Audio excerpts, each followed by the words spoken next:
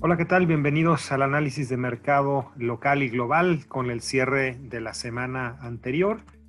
Y bueno, pues la semana en general fue una semana eh, mixta para los mercados con información importante. En el caso de Estados Unidos, eh, pues seguimos viendo eh, varios discursos y varias presentaciones de funcionarios de la Fed que vuelven a poner en la mesa que estarán muy comprometidos apoyando a la economía con todas las herramientas que la Fed pueda tener. Eh, sin embargo, sí dejan claro que no estarían pensando en este momento llevar a tasas negativas, eh, como ha sido obviamente el caso de Europa y Japón, que ya llevan pues prácticamente años con tasas negativas eh, para apoyar a sus economías y el caso de Estados Unidos pues pareciera que ese tipo de medidas las estará evitando. Eh, tuvimos también los datos de solicitudes de desempleo, solicitudes iniciales de desempleo, que como cada semana, ah, pues desde hace prácticamente más de dos meses está saliendo con números sumamente altos. Eh, esta semana el número de nuevas solicitudes de desempleo fue de 2.4 millones de personas, con lo cual pues desde que inició la pandemia llevamos ya más de 38 millones de solicitudes eh, de desempleo, pues claramente por el tema de la pandemia.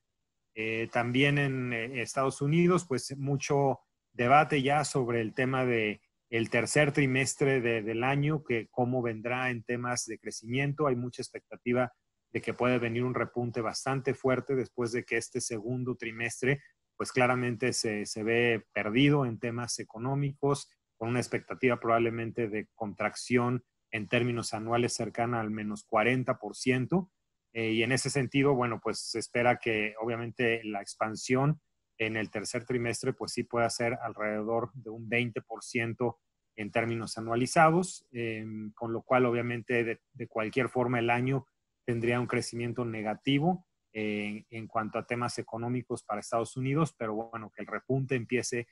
el tercer trimestre del año y que continúe hacia 2021, pues es la expectativa que todo el mundo quiere ver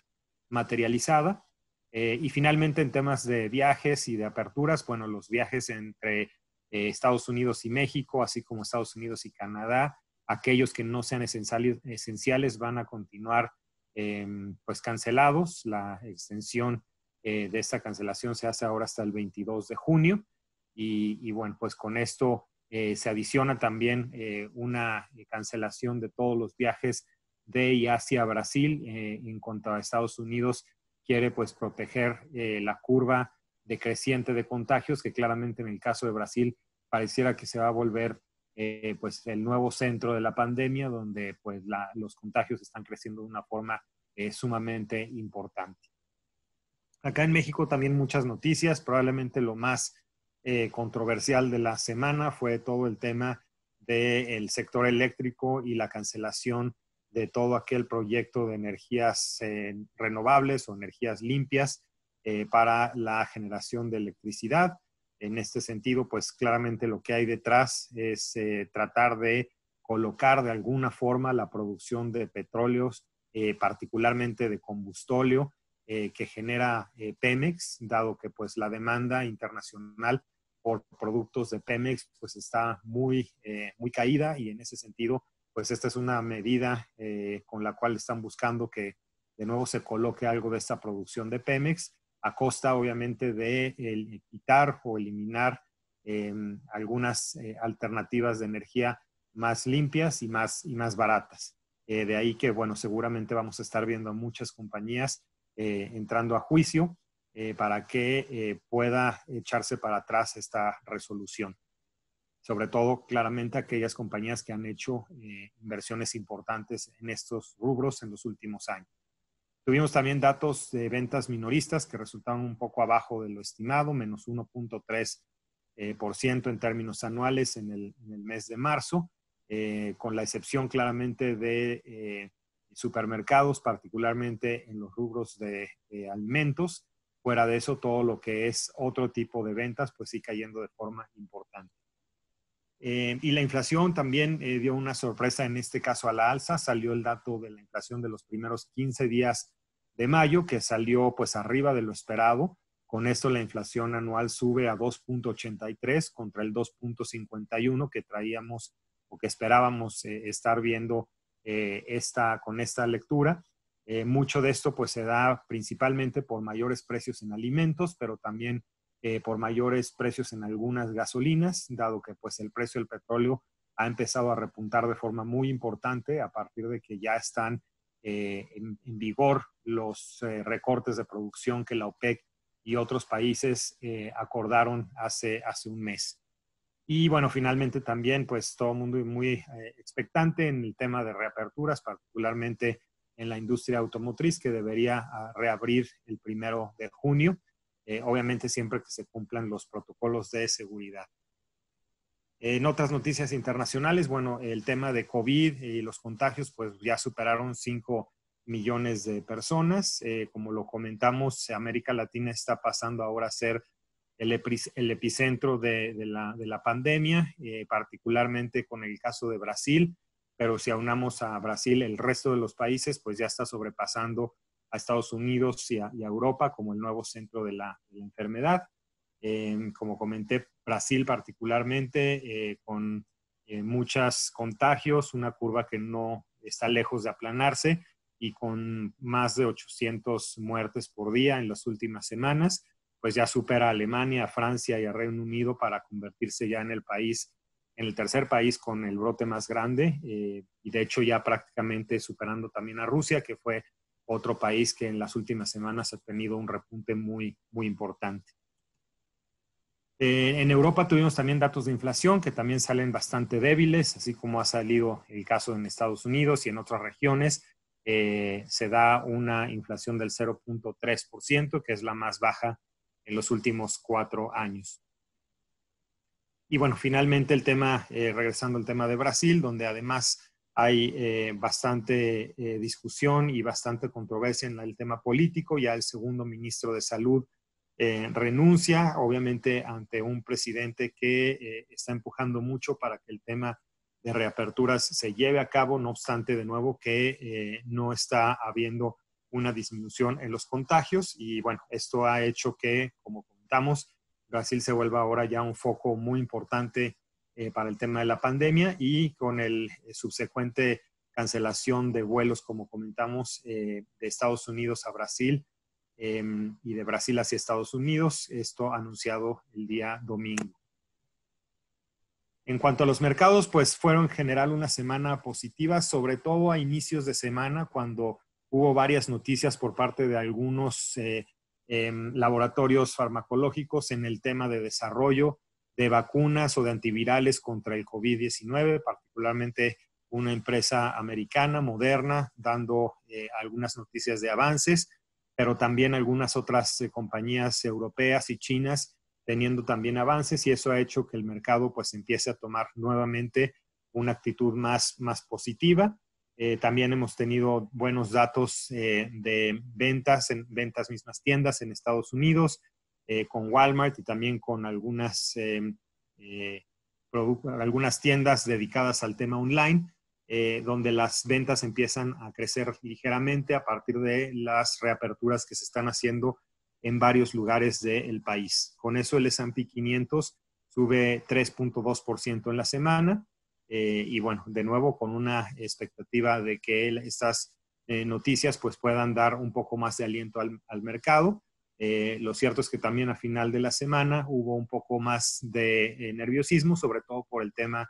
de la relación eh, China-Estados Unidos, que esa pues sigue eh, escalando con noticias eh, cada vez más negativas y en ese sentido pues es un contrapeso a esta expectativa favorable que está saliendo a partir de los temas de resultados mm, farmacológicos.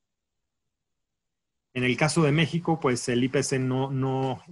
siguió esta tendencia positiva que vimos en otros mercados. Prácticamente el IPC cerró sin cambios en la, en la semana. Eh, acá, pues bueno, claramente eh, pesó mucho el tema de la decisión eh, de, energética que ya comentamos. si bien algunas empresas que están fuera de, este tema, como pudieron ser Alfa, Peñoles, Televisa, pues mostraron algo de avance en la semana, pues sí hubo algunas acciones, particularmente la acción que más exposición tiene a este tema de energías renovables, que es Yenova, pues tuvo una caída importante llegando casi a menos 25% en cuestión de unos días para después cerrar la semana un poquito más arriba de eso, pero de todos modos con pérdidas importantes. Eh, si bien, eh, de nuevo, en, este sector no hay muchas empresas que coticen en la bolsa mexicana, la mayor parte de las empresas afectadas por esta decisión son europeas y canadienses y en ese sentido, bueno, pues esperaríamos también eh, que el tema inclusive pueda escalar a, un a conflicto o a, alguna controversia política y bueno, vamos a estar pues muy atentos también a ese tema. Con eso el rendimiento acumulado del año del IPC es de menos 17.81%.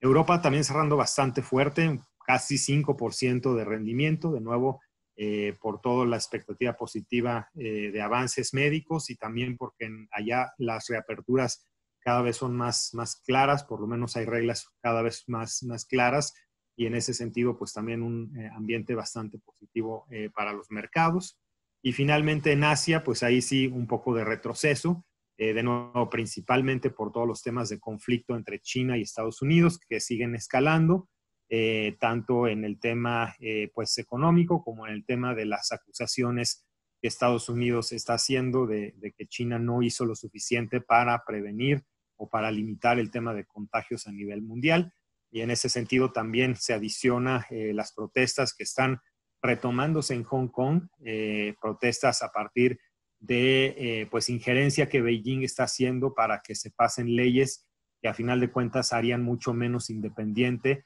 a este territorio y obviamente los eh, habitantes pues están muy en contra de estas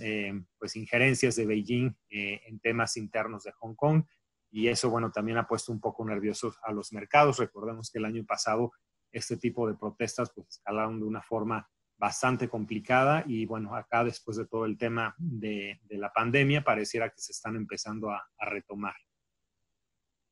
Eh, otra sorpresa importante esta semana fue el peso, que tuvo una fortaleza bastante importante. No solamente fue el peso, sino en general casi todas las monedas emergentes eh, tuvieron una semana de bastante fortaleza contra el dólar. En especial el peso y algunos otros países productores de petróleo, pues están eh, respaldando esta fortaleza con, con, este precio del petróleo que se ha eh, fortalecido de una forma muy importante. Ya el precio del petróleo está cercano a 32 dólares por barril en el caso del WTI, cosa que hasta hace unas tres semanas estábamos en aproximadamente 18 o 15 dólares por barril. Entonces la recuperación